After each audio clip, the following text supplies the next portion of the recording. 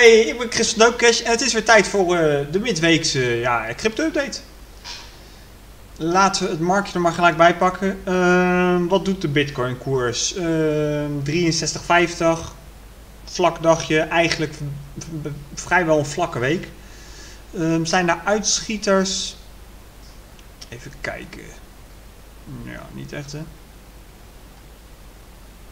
Ik zie nergens zelfs dubbele cijfers. Dogecoin levert 8% in. Voor de rest is het eigenlijk, eh, ja, wat ik al zei, vrij vlak.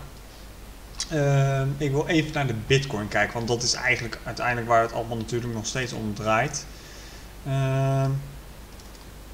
En ik denk dat we het vandaag misschien een beetje anders gaan doen, want voor vele, ehm, ja, voor veel mensen zal deze chart niet zo heel veel zeggen dit is hoe ik eh, ja, zelf meestal mijn trading setup heb staan. We gaan het vandaag gewoon even helemaal anders doen. Ik ga hem gewoon helemaal leegmaken. Omdat ik ook een aantal vragen heb gekregen. En ik wil gewoon laten zien hoe kan je nou gewoon heel makkelijk een basischart opbouwen. Gewoon, je bent net begonnen met TA. Ehm, je wil gewoon een goede eh basischart die jou de informatie eh, verschaft die je nodig hebt. Ehm, ja, wat is er nou voor nodig? Dat is eigenlijk heel simpel. Je pakt gewoon een chart erbij. Het maakt niet uit in welk chartingprogramma. Ik gebruik eh, TradingView. En dan gaan we eerst naar de tijdinterval. En die zetten we gelijk op de eh, hoogst mogelijke tijdinterval.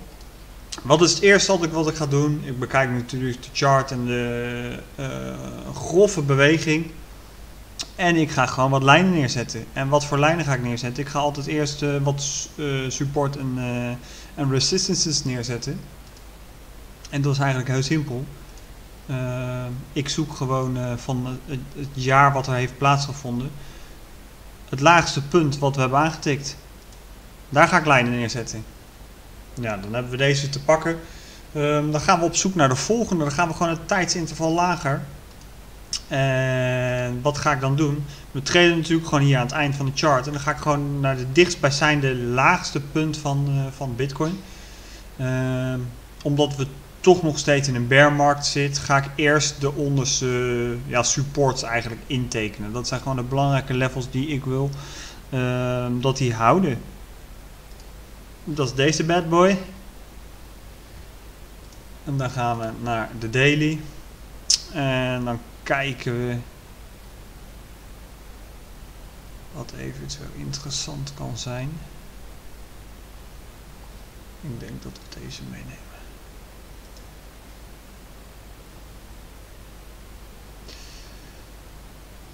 Dan kan ik de 4 uur chart er ook nog bij pakken.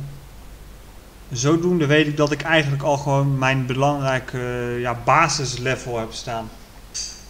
Ik heb nu dus, we kunnen even naar de daily chart, dan zie ik ze waarschijnlijk allemaal.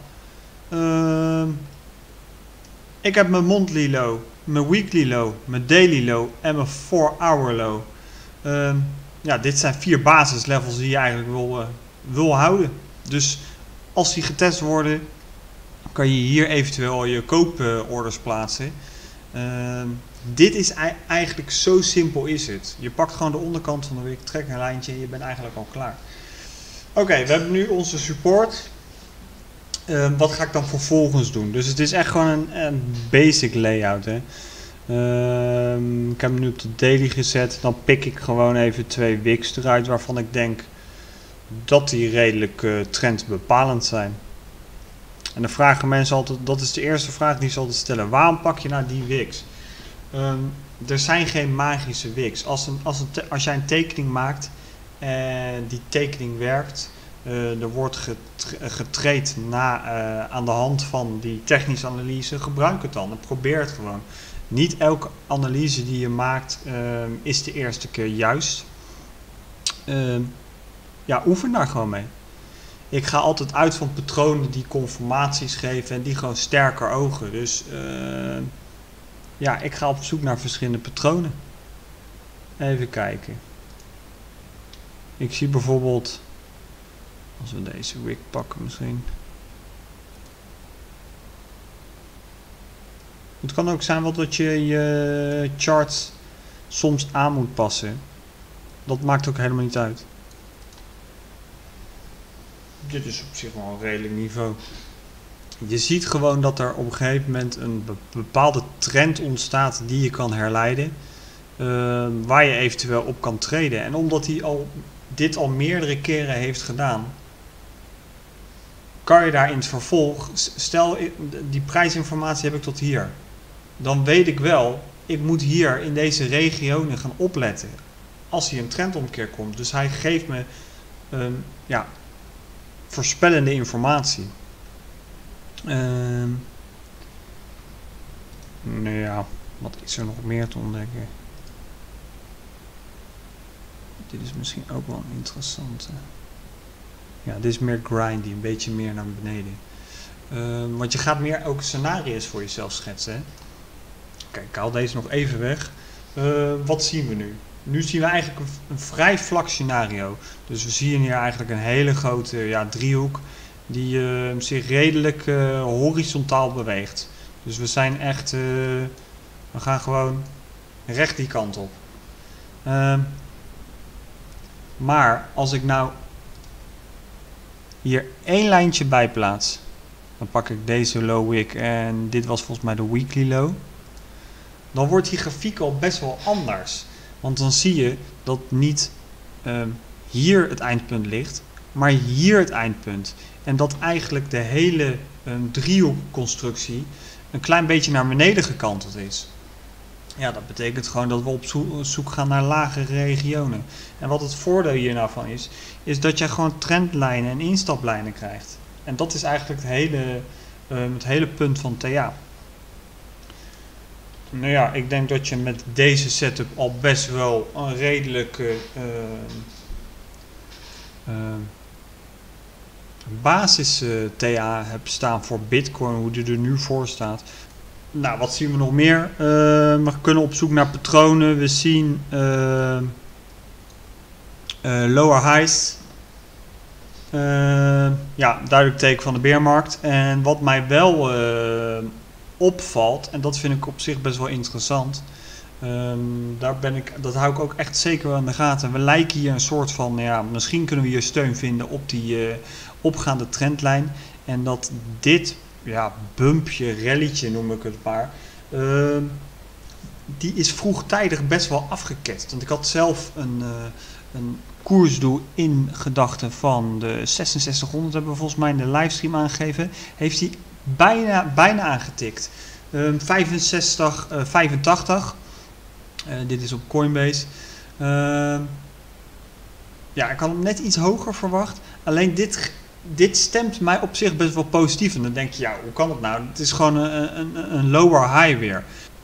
Want wat maakt het nu heel gemakkelijk om eventueel een higher high te gaan vormen?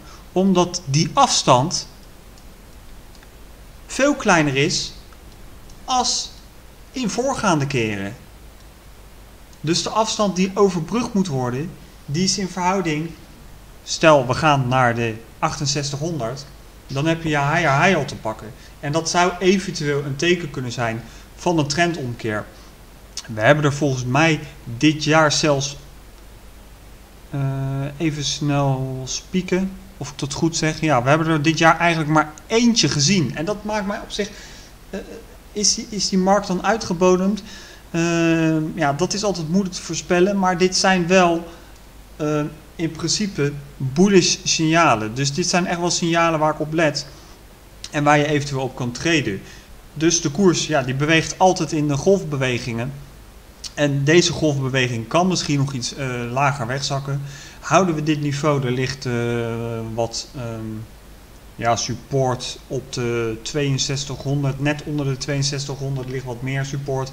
Die hebben we ook ingetekend, hè, de daily en de 4-hour uh, um, lows kunnen we eventueel die nieuwe daily, die, die higher high ja, realiseren. Ja, dan, dan krijg je al een heel ander scenario natuurlijk. En dan gaan we meer deze kant op denken. Ehm, ja, breken we hier doorheen. En dan moet je ook niet voor afsluiten. Dan moet je meer naar de onderste regionen denken. En wat ga je dan bedenken? Ik ben door die daily heen gebroken. Dan kijk ik naar de weekly. Gaan we door de weekly heen. Dan kijk je naar de monthly. Gaan we door de monthly heen, dan hebben we echt een serieus probleem. ehm, dan wordt de weg naar beneden geopend. En wat ga je dan doen? Ja, dan ga je gewoon echt naar lagere, ehm, lagere niveaus zoeken. En het eerste niveau wat we dan tegenkomen, ehm, ja, dat zijn er niet zo heel veel. En dat is een beetje het probleem. 5500, 5100. Uh, 3000 zie ik er zelfs eentje staan. Ja, dan gaat het in één keer snel. Ja, dit was eigenlijk hoe je een ja, hele simpele basis TA voor jezelf kan maken. En dit voor de mensen ook nog makkelijk te begrijpen is die net met TA beginnen. Het was misschien niet helemaal echt een uh, ja, Bitcoin update. Uh, ik heb wel iets verteld over de markt. Eventueel wel de voorspelling of de prijsacties. Voorspellen, voorspellen kan niet. Uh, voorspellen kan ik voor de lol. Uh, traden en voorspellen gaan niet samen. Uh, het enige wat ik doe is scenario's traden. Dus ik kijk uh, ja, waar, ligt, waar liggen mijn meeste kansen. En speel ik daarop in. speelt dat niet uit, dan laat ik gelijk mijn, mijn scenario achter. En dan ga ik traden op een andere scenario. Dus of persoonlijk voor mij Um, long term zie ik, toch, zie ik wel graag een bitcoin die in waarde stijgt. Um, short term, als ik echt technisch, technische analyse toepas en ik ga traden, maakt het voor mij niet zo heel veel uit. Als ik maar kan profiteren van de prijsactie die er plaatsvindt. Um, en dat is eigenlijk de update voor vandaag. Uh, ik kijk vandaag nog even naar wat consolidatie. Dat kan misschien nog wel een paar dagen aanhouden hoor. Als we even naar de uurchart nog kijkt. Um, ja, dan zien we hier toch een soort van ja, consolidatie. Dat zijn grote partijen die uh, of longs of uh, short aan het verzamelen zijn. Uh, we kunnen best nog wel iets lager, wat ik al zei. 6220, 6200, 6180 ligt ook nog een belangrijk niveau. Dus als we eventueel dit kunnen zien, dan zou dat mooi zijn. En dan gaan we daarna weer verder kijken. Nou, vond je dit een interessante update? Uh, wil je meer van dit soort updates zien? Uh, abonneer je dan op ons kanaal. Even het belletje aanklikken, dan blijf je op de hoogte van de laatste ontwikkelingen. Vind je het nou nog steeds moeilijk? Heb je vragen? Word lid van de Discord. Daar kan je, al je met je al je vragen terecht. we hebben ook ja, actieve admins en members. Dus iedereen is daar welkom. En ik zie jullie graag weer een volgende keer. Later.